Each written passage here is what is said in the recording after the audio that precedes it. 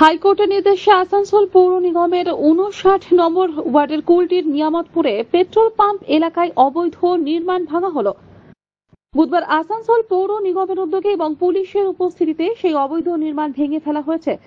কি illegal construction মানে বিনা plan pass করে উনি করে নিয়েছেন। এমন ব্যাপার হচ্ছে কি, নিয়ামতপুরে নাইনটি পার্সেন্ট বিনা প্ল্যানের কনস্ট্রাকশন করা আছে।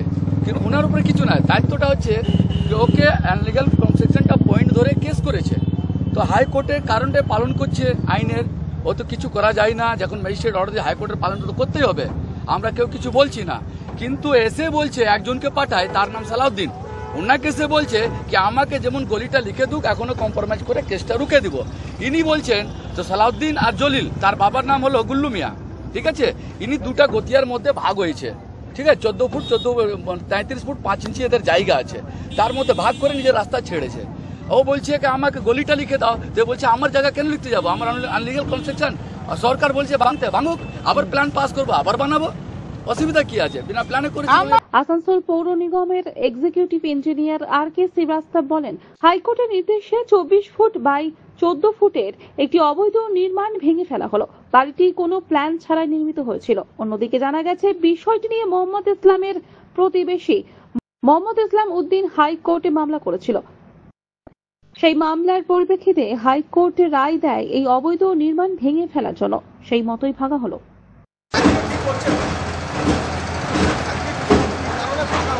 হাইকোর্টের অর্ডারে এখানে ভাঙা হচ্ছে। চব্বিশ ফুট বাই চোদ্দ ফুট। এটা ইলিগাল ছিল without having any sanction plan এটা বানাচ্ছে, বানিয়েছে, সেই জন্য ভাঙা হচ্ছে।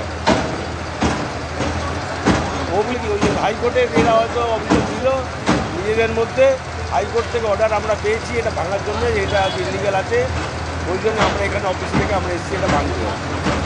চব্বিশ ফুট বাই চোদ্দ ফুট। আমার নাম R K Srivastava executive engineer Asansol municipal corporation এই বাড়িটা অনথরাইজ বাড়িটা ভাঙা হচ্ছে। জায়গা এইদিকে আমার জায়গা আছে, গলিটা আমার আছে, আর ওইদিকে ওর জায়গা আছে। দীর্ঘদিন থেকে ঝামেলা চলছে, মোটামুটি দু আমি আমার জীবনে দু থেকে ঝামেলা চলছে। অনেক জিডি, অনেক কমপ্লেন আছে, মারধার আছে, ভাঙচুরের আছে মানে অনেক ডিস্টার্ব অনেক ডিস্টার্ব আমরা অনেকবার চেষ্টা করেছি, পঞ্চায়েত কমিটিতেও বসেছি পেপার ডকুমেন্টসগুলো সব দেখিয়েছি, দলিলগুলো আছে আমাদের আজাদির আগে দলিল আছে। দলিলে পরিষ্কার লেখা আছে আমাদের কত জায়গা, কত থেকে কত পুরো চহদ্দির সঙ্গে আছে। কিন্তু ওরা মানছে না, ওরা ডাইরেক্ট ক্লেম করছে, এটা আমাদের প্রপার্টি দেড় বছর থেকে আমাদের নালি উলি জাম করেছিল। ডেপুটি মেয়র কাছে পারমিশন নিয়ে এসেছিলাম। উনি আমাকে নয়ন নস্কর কাছে পাঠিয়েছিলেন, উনি সুমন কাছে পাঠিয়ে গেছিলেন তারপর কাউন্সিলরকে দিয়েছি, পুরো degree high court civil court degree সব দিয়েছি। কিন্তু ওরা লালি পরিষ্কার করতে দেয়নি। আমার ঘরের নিজের বোনগুলা দেড় বছর থেকে এক দেড় কিলোমিটার দূর যেয়ে ল্যাট্রিন বাথরুম কলগেট চান করতো। এত কষ্ট ঝেলেছি। ছাতরে কাপ- কাপড়গুলো দিতাম একটু টপ টপ পানি পড়তো কাপড়গুলো পড়িয়ে দিত ড্রেনের সিস্টেম ব্লক করে দিয়েছিল পাইপ ফাইপ যে ছিল সব ভেঙে দিয়েছে। এই দেখুন নালিগুলো যে টোটাল আছে আমাদের পুরো স্ল্যাব দিয়ে জাম করে দিয়েছে। এদিকে এদের কিছু নেই পেছনে আমাদের জায়গা ছিল ওটাও ক্যাপচার করে নিয়েছে। আমাদের নিজের খিড়কি দরওয়াজা করতে দিচ্ছে না কোচাড়া প্লাস্তারা করতে দিচ্ছে না গলি আমার দাদা নিজের সম্পত্তিতে যায় ওর ছেলে ধরে কালা ধরে বার করে দেয়। না ওটা আমার না।